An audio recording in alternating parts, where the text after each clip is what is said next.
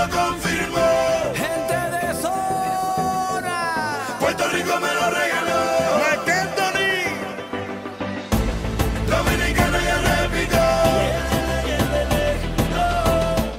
Lo conocí por un entrenamiento. Eh, acá, como les comentaba Pax, Sri es un estilo de vida y tenemos, por ejemplo, lugares donde hacen ejercicios. Entonces, donde la gente en fitness va y hace ejercicio. Yo lo intenté y ahí caí en cuenta de que José Luis es una persona que pone sus conocimientos, sus habilidades sus actitudes al servicio de los demás. No simplemente a gente que hace SRI, sino a todos. A todo aquel que quiera hacer ejercicios y tener un cuerpo así fitness, él les va a ayudar. Entonces, a mí me sorprende eh, en verdad la cantidad de personas que hay acá y que todas buscan ayudar a los demás sin ningún, sin ningún afán de, de- ganar algo, ¿no? Entonces, sí les quiero dar, les quiero pedir que den un fuerte aplauso a José Luis y a un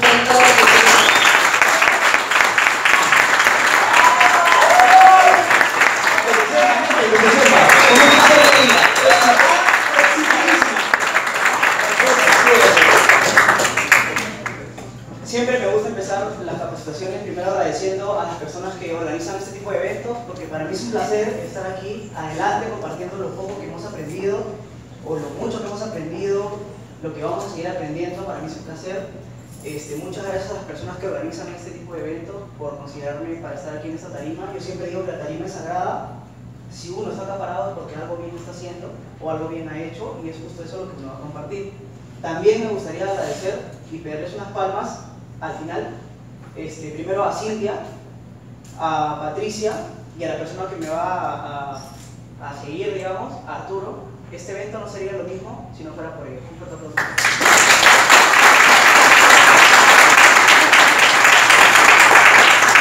Para las personas que no me conocen, mi nombre es José Luis Acuña, yo tengo 27 años. Ahí, antes del 2007, no cuenta, bebé. Empecé a estudiar en la Universidad Católica, tuve el privilegio de estudiar en una universidad buena y terminé como ingeniero electrónico. Muy bacán, muy lindo, en el camino empecé a estudiar, empecé a, a estudiar temas de marketing mientras yo ya trabajaba en una empresa que se llama Huawei. Esa empresa, esa compañía, digamos que el ritmo de trabajo era bastante pesado, porque como ingeniero de telecomunicaciones, entonces yo, palabras como domingo, como feriado, no existían. Era así de sencillo. Nosotros trabajábamos configurando la red 2, 3, 4G hasta 5G en el momento que yo estaba ahí y no podíamos cortar el servicio a las 6 de la tarde en San Isidro, imagínense. Entonces nosotros trabajamos de madrugada y teníamos de medianoche a 6 de la mañana para terminar la chamba. Y si no, al día siguiente era lo mismo. Y ya, claro, yo terminaba a 6 de la mañana y 9 tenía que estar en la oficina. Entonces me iba a mi casa, me bañaba, tomaba un desayuno y regresaba. Con ese ritmo de trabajo, este, casi tres años, casi tres años en el camino fui conociendo personas dentro de Huawei que era este, gente que, que hacía marketing, ¿no? vendía los servicios o vendía el producto y me di cuenta que esa gente tenía otro, toque, otro roce. Al momento de, yo empezar a tener más contacto con ellos, me di cuenta de que me gustaba mucho la actitud, me gustaba mucho cómo ellos manejaban con la gente, entonces empecé a estudiar marketing, que era digamos lo que yo vi bacán y ahí estuve. Entonces con el tiempo me di cuenta de que se presentó esta oportunidad. Un amigo llegó a mi casa y me dijo, mira José Luis, la persona que me presentó la oportunidad tenía cuatro días en sí. O sea, ¿qué me habrá dicho? Yo solamente con todo. ¿Por qué? Porque escuché marketing por ahí. Entonces, marzo 2015, día 1, día, nací, digamos, en, esta compañía y me dedico a hacer marketing así como ahora me desarrollo como inversionista. Yo no trabajo más como empleado. Entonces, el involucramiento para eventos es el tema que vengo a compartirles hoy, el día de hoy. Básicamente esta va a ser la agenda. Primer punto, secretos de un buen involucramiento, que es muy importante, es la base de todo negocio y de todo lo que uno quiere emprender. La segunda parte va a ser la importancia de los eventos, o sea, cuál es la finalidad de traer la gente. Y la tercera parte, qué es lo que se viene. Vamos a, compartir un poquito de qué es lo que yo veo con esta compañía en los siguientes años. El 93% de lo que nosotros expresamos lo hacemos sin palabras. O sea, eso quiere decir que de todo lo que yo voy a decir, sobre el 7% se va a quedar en su cabeza, pero más se van a acordar de cómo lo digo. La persona, como ya les dije, que me patrocinó tenía cuatro días en sí. ¿Y todos se acuerdan de esto? sí? Esa fue la única lámina que yo grabé en mi cabeza. Y de esa lámina yo solamente entendí tres cosas. Que me iban a dar un carro. Entonces yo dije, pero yo ya tengo un carro, ¿para qué no? Así pensaba. Que había algo con un avión, algo iba a haber, y que había un millón al final. Eso fue lo que yo vi. Entonces yo, yo me acuerdo mucho de ese millón y me, me identifico mucho con eso porque yo dije, he, he venido trabajando por tres años, dándole toda la compañía, en la que estaba, y dije, yo no voy a hacer un millón pero ni en soles, ¿no? ni en 40 años. Entonces dije, acá hay una oportunidad para hacer algo distinto. ¿no? Entonces el 50, y- del, del 93%, el 58% son los gestos. La gente se acuerda mucho de lo que es postura, de lo que es cuello, las manos. Sería muy distinto que el día de hoy yo esté aquí parado con los brazos cruzados o con una chalina. Es muy importante tener limpia esta zona, buena postura y con las manos abiertas. Y el 35% es el tono de voz. Súbelo cuando quieras elevar la energía de la gente y bájalo cuando quieras decir algo importante. Ahí no estoy para tu libro.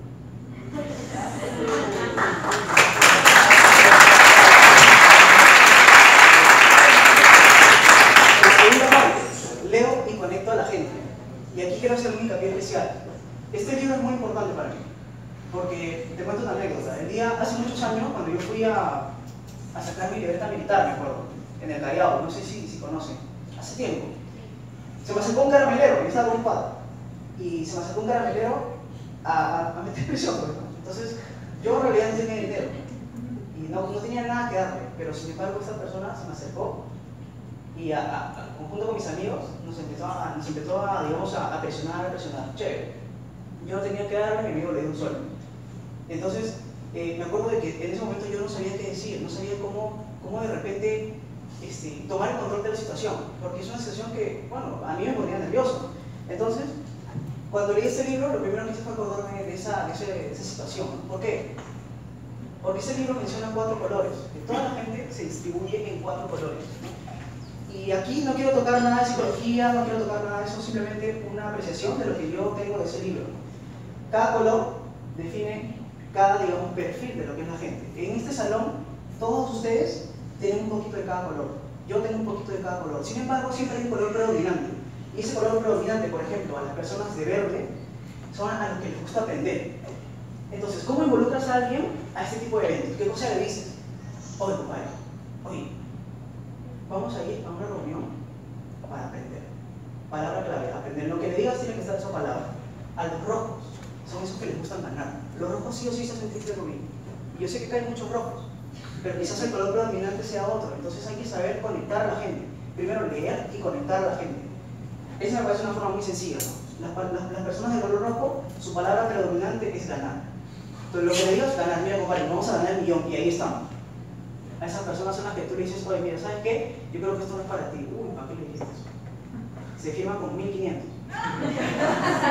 Las, palabras, las personas de color azul es pura diversión, pura fiesta. Ellos no se acuerdan nada de, lo que, de la presentación, solo se acuerdan que hay un viaje a Punta Cana que se viene en marzo y que va a haber una fiesta. ¿no? Esa es la gente que se va a tomar a Aura del Arcomar ¿no? y que se toman las fotos, los selfies, pero entonces tú le vas a decir algo como esto.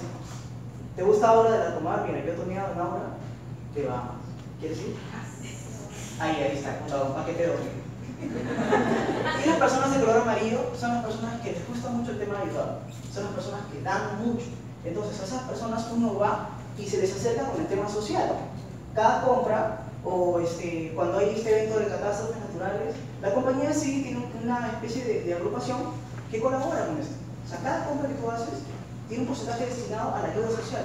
Entonces esa es la gente, esa gente es la que tú le dices esto y se firma un paquete de 2.500 soy amigo y transmito confianza. ¿no? De nada sirve de que yo le diga a una persona, la llame y le diga, mira, tienes que estar acá, tienes, tienes, tienes. Palabras como tienes, eso no es, es, es imperativo, eso no existe en este tipo de negocios. ¿Por qué? Porque acá todo depende de uno. Entonces, soy amigo y transmito confianza. La, la- un, un punto ahí es de que las primeras capacitaciones, el primer super training, el primer set of fit club comienzan contigo en privado comienzan en tu casa, en una cena, en un estado, en una parrillada. La gente que logras que vaya a tu casa por tu cumpleaños es generalmente la gente que logras que traiga acá. Porque si haces lo contrario, que es lo que yo hacía antes, convencía, digamos, oye, compadre, tienes que estar ahí, tienes, tienes, tienes. Venía, nunca más lo volví a ver, eliminaba Facebook, no me contestaba las llamadas de celular. Entonces yo te recomiendo por experiencia de que siempre primero seas amigo. Y que si le dices, oye, vamos a mi casa a tomar un café, De ninguna manera te va a decir que no, oye, vamos a un espacio para aprender, o para ganar, o para divertirnos, o para ayudar. ¿Sí? Disciplina vence talento. Esta es una frase que las personas que trabajan conmigo y ven mis redes sociales, es una frase que yo duplico mucho. ¿Por qué? Porque de nada sirve que yo haga todo esto súper chévere, pero un día. La gente tiene que ver que lo hagas hoy día, pero mañana también. Es muy importante para el, para el involucramiento. Yo después de un año y medio he logrado que mi mamá compre un producto. ¿Pero por qué? Porque me ha visto hacerlo una y otra y otra y otra vez. Después de casi dos años y ocho meses he logrado que mi mamá me diga, oye, ¿yo puedo entrenar contigo? Eso ha sido hace dos tres semanas. Entonces imagínate, ¿pero por qué? Porque me ha visto hacerlo una y otra y otra y otra vez. Y eso sí, hubo un momento en que la senté y le dije, mira, yo he visto algo acá que quizás tú no, quizás tú lo vayas a ver más adelante, pero aquí no me sale nada. Y con eso me la saqué encima, porque la verdad es que también a veces te dan cultura en la casa, ¿verdad? Entonces, es muy importante que la gente te vea, no solamente hablar, sino también con resultados. ¿Cuál es el objetivo de un buen involucramiento? Primero, crear, si es que a la persona no la conoces, o consolidar lo que ya tienes con esa persona. Es muy importante crear un vínculo, pero que ese vínculo no se quede así como un lacito. Hacer todo una... No sé cómo decirlo, pero ustedes me entienden. Hacerlo más fuerte. Entonces, eso es importante. Segundo paso. Listo, chévere. Me llevo una parrilla en mi casa. Puedo hacer que venga a este tipo de eventos. Ya lo tienes aquí sentado. ¿Y para qué lo trajiste?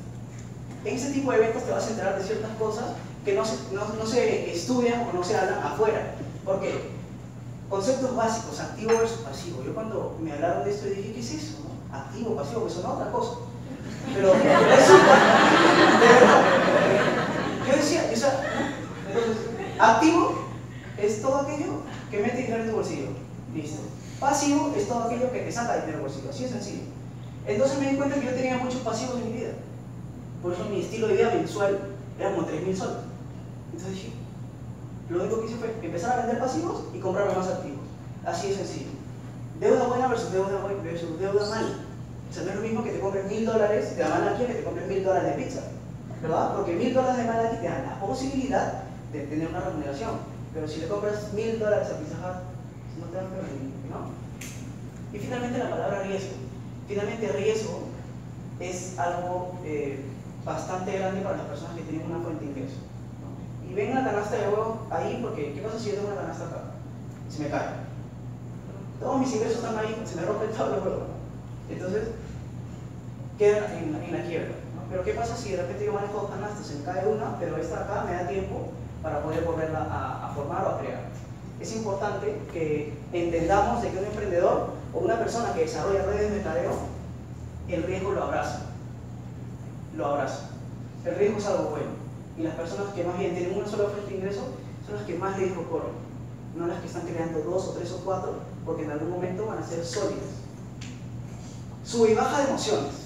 Yo ingresé a Huawei, mi primer día, che, estaba ahí. ¿no? Bueno, tiene- yo estaba acá. Primer día, emocionadísimo, me invitaron a almorzar, yo estaba recontra contento. Me llegó mi primer correo, ¿quién se acuerda de, eso, de ese momento? Y luego envié un correo a la persona equivocada. Y así es, ¿no? Entonces acá pasaron unos meses, acá pasaron otros meses, te peleaste con tu jefe, ¡pum! Volviste, te mandaron un correo a tu jefe, good job, ¿no? O buen trabajo, y luego te estás otra vez. Entonces, esa es la gráfica de una persona que por lo general trabaja en el mundo del empleo. Sin embargo, a nosotros nos hacemos un curso intensivo de inteligencia emocional. Te afiliaste en sí, no tienes la más mínima idea de qué es lo que has hecho. Llamaste a todos tus amigos, 10 personas te dijeron que sí. Llegaron dos, se firmó uno. Volviste a llamar, nada. Y así. Y así con el paso del tiempo. Y esto puede ser en cuatro horas. ¿Te das cuenta? Entonces imagínate cómo sería a un mes, a dos meses. pero a- Entonces, aquí algo que se desarrolla bastante es el tema de las emociones. Publicidad, el manejo de la publicidad en una red de mercadeo es distinto. ¿Todos, ¿Todos reconocen esta imagen? ¿Qué serie es? Es Stranger Things 2. Excelente.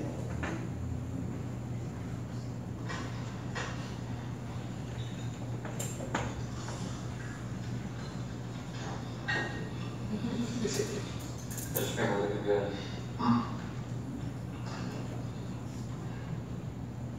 Todos los son grises, son casi muertos. ¿Qué es lo único que vería en esa mesa? ¿Cuánto crees que le ha pagado KFC para estar ahí?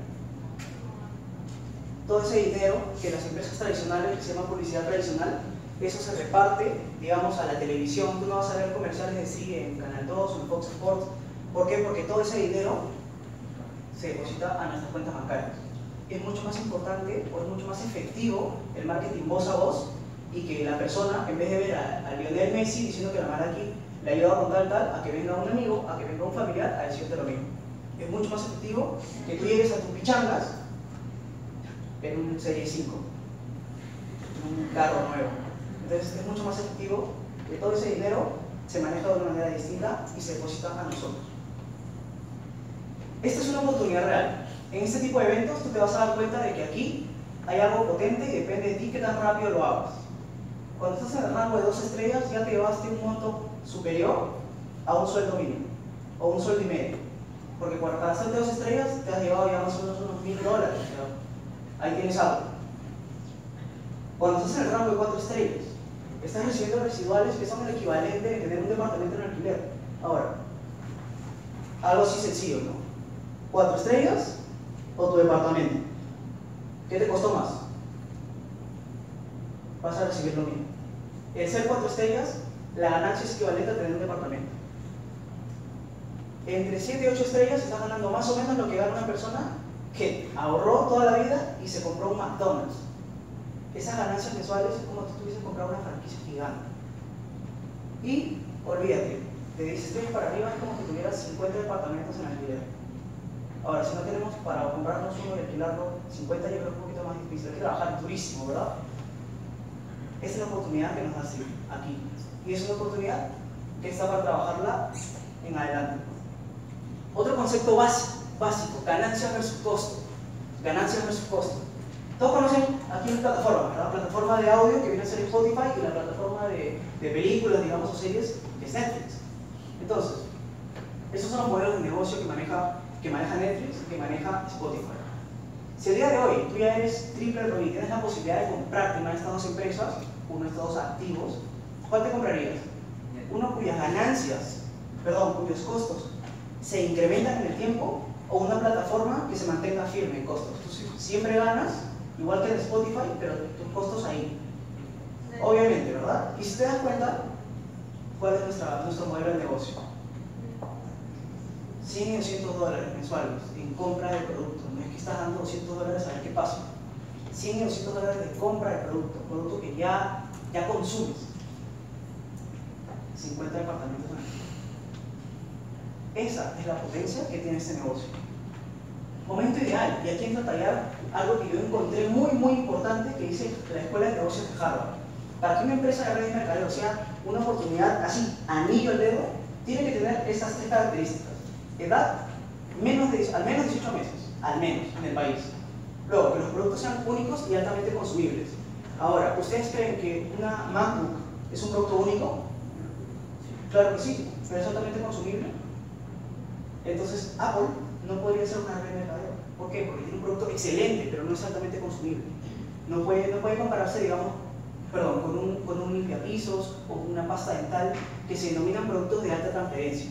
Y esos son los productos que tenemos aquí. Cafés, jugos, malteadas. Y finalmente, uno, que una oportunidad tipo planta baja. Edad.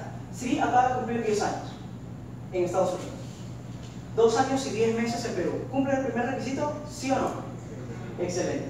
Productos únicos y altamente consumibles. Altamente consumibles. Tienes una bebida malaki, que Patricia nos de una cátedra de lo que te puede dar. Un café rice, un energizante, o si lo tomas caliente puede ser como una infusión. La malteada chip y el sistema Sri que es el cuidado de la piel. Son productos únicos y altamente consumibles. ¿Únicos por qué? Porque son los únicos productos en el mundo entero que el centro Chopra le ha puesto su sello. Entonces, ¿cumple con el segundo requisito? ¿Sí o no? ¿Y qué significa planta baja? Primero, de que una oportunidad de planta baja es de que el 1%, la mitad, esa cantidad de gente esté involucrada en la compañía de tu país. Hasta el año pasado habíamos 31.77 millones. Nos acaba de censar, así que no puedes sacar el de, de este año. El 1%, 317 mil. La mitad del 1%, lo que ven ahí, 150 y tantos. ¿Sabes cuántos ejecutivos hay activos en Sri Perú? ¿Nada? ¿Cuántos? ¿Cuánto? Menos de 20 mil. Menos de 20 mil. Menos de 20 mil. ¿Qué dice el? Si la empresa tiene menos de 100 mil distribuidores en el país, es una oportunidad única en la vida. Así que mientras la gente que lo va pensando, voy a pensar no, que mi almohada, que mi esposa, ¿no? Excelente, no hay ningún problema. Pero mientras la empresa tenga menos de 100.000 personas vinculadas, es una oportunidad única en la vida. ¿Cuál es el objetivo de los eventos? Primero llevarte del estado de opinión a la convicción. Cuando una empresa, uno empieza así, yo empecé no tenía idea, solamente por confianza y porque en fin, ¿no? Luego, después de dos años y nueve meses que ya tengo la compañía, yo estoy seguro que este es un vehículo que me ha dado mucho más de lo que he podido recibir afuera, no solamente por el tema de, economía, digamos, ¿no? sino por un tema de salud y por un tema de crecimiento personal. Antes yo era capaz de pararme en una tarima, pero ahí hablaba cualquier cosa. El día de hoy es un, compartir una información muchísimo más profesional. Y eso es lo que yo el día de hoy agradezco a. ¿Qué es lo que se viene? De aquí comparto un poquito de qué es lo que yo veo qué es lo que yo veo con la empresa. ¿Qué es lo que se viene? La compañía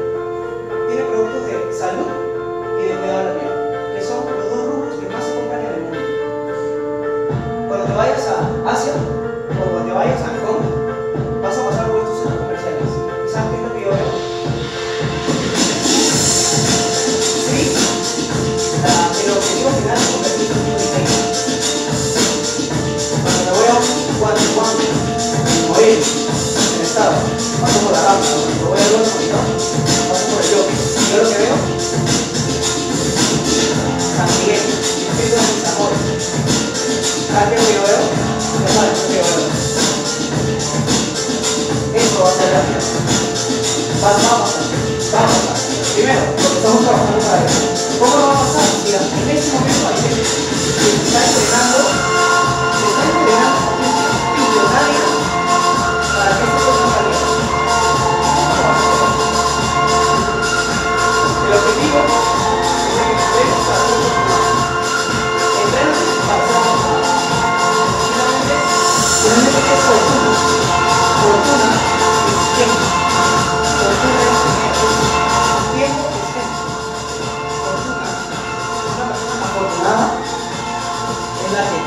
para gozar de su tiempo. Y eso es lo que nosotros nos celebramos aquí. ¿Se acuerdan todos al primo Chicho, verdad? Dice que, que está molesto, que está principio y que dice que esto no funciona. Una vez me hicieron un ejercicio. Le pusieron unas semillas en la mano y le cerraron y dijeron, ¿qué es lo que tú ves, Chicho? Y el Chicho se esfuerza, se esfuerza yo lo que veo es un árbol. Hombre de poca fe, hombre de poca visión. ¿Quieres saber qué es lo que yo veo? Veo. Muchísimas gracias y buenas noches.